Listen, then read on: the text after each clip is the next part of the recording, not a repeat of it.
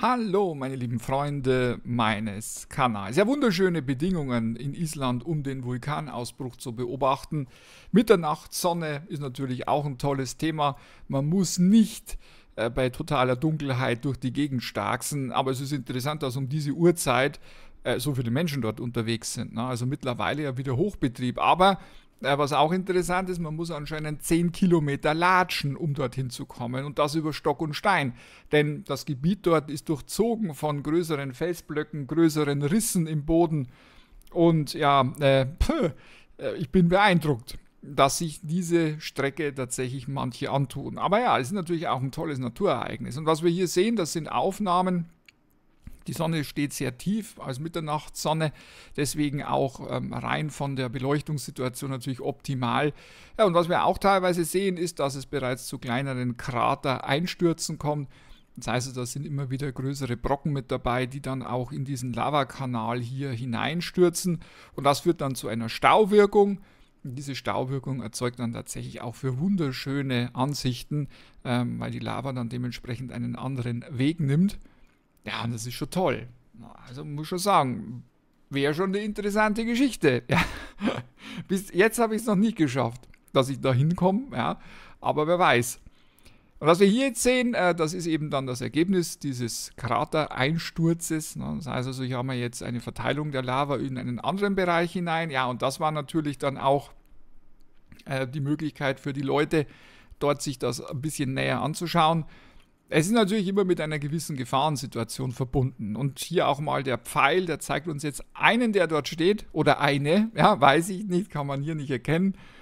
Aber ähm, was wir hier sehen, ist natürlich auch die, die Größenordnung. Das heißt also, das ist jetzt mittlerweile schon ein großer Krater und auch sehr hoch mittlerweile. Und auch die Lavafontänen sind relativ hoch. Ja, und wenn man dann in diesem Bereich steht, bekommt man sehr viel Rauch ab.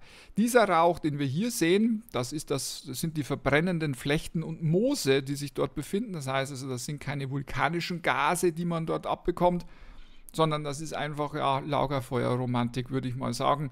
Ich denke mal, wenn man dann wieder zu Hause ist, dann kann man die Klamotten eigentlich gleich entsorgen. Weil das dann dementsprechend auch ein bisschen nach Rauch riecht, logischerweise. Aber ja, das ist wunderschön. Also schon beeindruckend auch und auch die Ausflussmenge ist durchaus höher als bei den anderen Ausbrüchen. Das muss man natürlich jetzt im Einzelnen ein bisschen anschauen. Teilweise kann es natürlich auch ein bisschen mehr erscheinen aufgrund eben auch des Lavaflusses. Aber ja, da ist schon einiges unterwegs an Lava. Ne? Und das heißt also, ja, das Lavafeld wird sich dann dementsprechend auch ausweiten. Aber so wie es jetzt momentan aussieht, also wenn diese Ausbruchsstelle bleibt, besteht überhaupt keine Gefahr. Weder für Straßen noch für Ortschaften. Es müsste schon sehr, sehr lange hier dann dementsprechend zu einem Ausbruch kommen, ähm, dass irgendetwas betroffen sein könnte. Und so lange, also ein Jahr oder so, weiß nicht, ob das tatsächlich im Bereich des Möglichen ist. Also es ist natürlich dort möglich. Es gab auch in der Vergangenheit auch mal Ausbrüche, die sehr, sehr lange angedauert haben. Aber der Zyklus, der sich dort abbildet, ja, ein paar Monate maximal, kann auch früher wieder zu Ende sein. Ne? Es kann jetzt auch nur ein paar Tage oder ein paar Wochen dauern.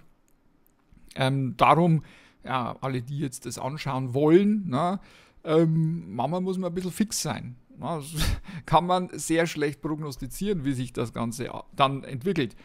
Aber die Bilder sind natürlich absolut faszinierend. Auch RUVIS jetzt mit der Streaming-Kamera ähm, der Stream im, im, im, Übrigen unten in der Videobeschreibung, also der Link, äh, meines Erachtens momentan der beste Stream. Das heißt also, die Kamera ist wirklich perfekt positioniert, hat sehr wenig Raucheinfluss äh, und deswegen hat man auch immer eine schöne Sicht auf den Vulkan, der sich jetzt ausbreitet. Das heißt also, der Kegel wird jetzt immer größer und äh, mal gucken, wie sich die Intensität des Ausbruchs dann auch weiterentwickelt. Könnte sein, dass dann noch ein bisschen mehr kommt, aber es ist jetzt schon ordentlich. Ne? Das heißt, ihr seht ja selber, die Lavafontänen sind teilweise sehr hoch.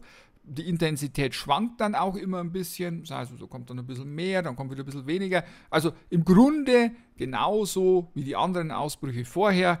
Es ist ein äh, ähnliches Ereignis. Nichts Besonderes für diese Gegend, sondern wow, das ist eben genau das, was dort immer wieder passiert, diese Spaltenausbrüche die dann auch sehr viel Lava fördern und dann dementsprechend hier wunderschön anzuschauen sind. Also seht ihr selber unten, na, laufen wir etliche rum. Also für mich wäre es nichts ne, im Rauch stehen. Aber gut, okay, muss jeder selber wissen. Was wir hier jetzt sehen, das ist eine Satellitenaufnahme des Ausbruchs. Das heißt also, ja, man kann natürlich jetzt auch mit Satelliten dieses Feld sehen und auch den Rauch, der sich dort entwickelt. Ähm, nicht unerheblich viel ist allerdings das verbrennende Moos und die verbrennenden Flechten. Das heißt, also, da ist Großbrand äh, und deswegen sieht man das auch so deutlich. Aber ja, der Vulkan selber hat natürlich auch ähm, eine relativ hohe Gasentwicklung momentan. Da gab es auch schon die ein, ein paar Einschränkungen ja, und dann auch die Überlegung, ja, wie macht man das jetzt am besten, ähm, auch mit den Leuten da. Man muss natürlich vorher immer schauen, wie ist die Gaskonzentration generell, ne, weil da können schon sehr giftige Gase mit dabei sein. Also die können auch tödlich sein. Äh, und deswegen muss man da unglaublich aufpassen und dementsprechend wurden dann auch in der Zwischenzeit Messungen durchgeführt vor Ort, um die Gaskonzentration festzustellen. Und natürlich spielt die Windrichtung auch eine entscheidende Rolle. Also ich sollte mich natürlich nicht dorthin stellen, wo der ganze Rauch und der ganze Dampf aus dem Vulkan da so hinweht, ne, sondern das ist ein wahrscheinlich auch ein natürlicher Reflex, dass man das nicht macht. Ne? Äh, Wäre auch vernünftig. Was wir hier jetzt noch sehen, das ist die Ausbruchsstelle selber. Das heißt also, ich habe mir das Ganze mal angeguckt und hier in etwa ist das. Ja? Das heißt also, dieser rote Balken, der zeigt uns jetzt das Ausbruchsgebiet in etwa. Ich, wenn ich es mir jetzt nochmal anschaue, müssen wir wahrscheinlich ein bisschen weiter nach rechts rüber, jetzt von uns aus gesehen, also Richtung Osten.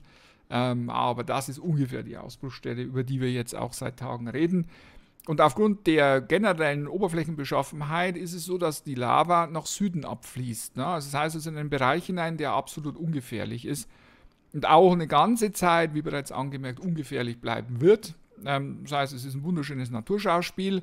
Das Einzige, was momentan nicht ganz so günstig ist, ist wahrscheinlich der weite Weg, den man dort zurücklegen muss und auch die, um, die, das alles ist sehr unwegsam. Also ich habe mir das mal ein bisschen angeguckt, auch von Videos, die dort gemacht wurden. Also da muss man sehr gut zu Fuß sein und ähm, ja, es ist auch nicht wirklich angenehm, dort zu marschieren. Na, das ist ähm, etwas, wo man sich sehr gut überlegen muss, ähm, dass man körperlich fit ist, dass man das dann auch machen kann. Denn man muss ja den Weg auch wieder zurück. So, meine Lieben, jetzt wünsche ich euch eine schöne Zeit. Vielen Dank fürs Zuschauen. Bis zum nächsten Mal.